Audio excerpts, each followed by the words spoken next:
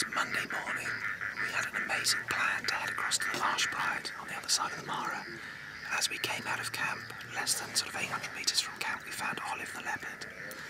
She's now worked her way across the, the airstrip and she's heading through the Croton thicket. And there's a group of impala which look like they might be breakfast.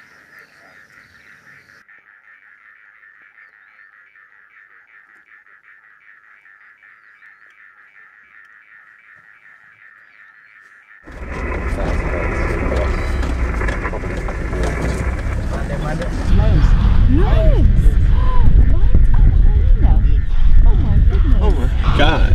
And what's that, jackal? Now, Jackal? yeah. Yeah, let them do lions that. and the jackal. Lion, jackal, Yes, hyena. and then uh, those impalas might run into the leopard. Lion, jackals, hyenas. Where's the leopard? In the bush. Somewhere into the bush. The lions is on the other side, close to the yeah. This is nuts.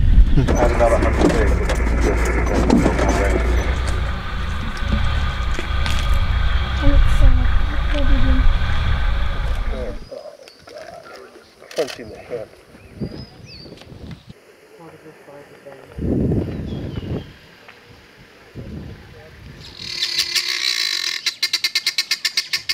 When you're out looking for the leopard, one of the easiest ways to find it is to listen out for the birds. They've got literally a bird's eye view. These Fowl up here have seen a leopard somewhere in this area. Well, we know that the leopard cubs are here. I'm pretty sure that's what they're shouting at.